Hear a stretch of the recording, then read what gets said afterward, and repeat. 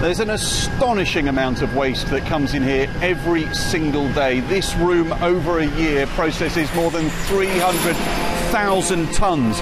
And you can see just down there one of the giant claws that they use to move it around to take it off to the incinerator. When that comes out of the waste, it'll be holding a ton of household garbage. It's meant to have been pre sorted, but if you look around, you can see bits of old clothing, bits of food. There's someone's bedside light down there. But essentially, what happens to all of this as it moves through the process is that this human waste, the byproduct of human activity, is turned into heat and electricity for Oslo. All that waste is burnt in here, the incinerator.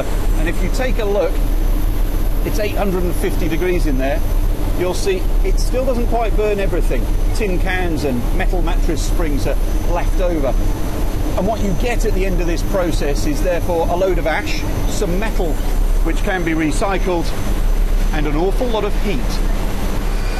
And remarkably, considering the size of this vast plant, this relatively small turbine is literally what it all boils down to. Steam being passed through there creates electricity, and in here, these water pipes with superheated water heading off to 59,000 homes in Oslo year round for heating purposes and also to the school system.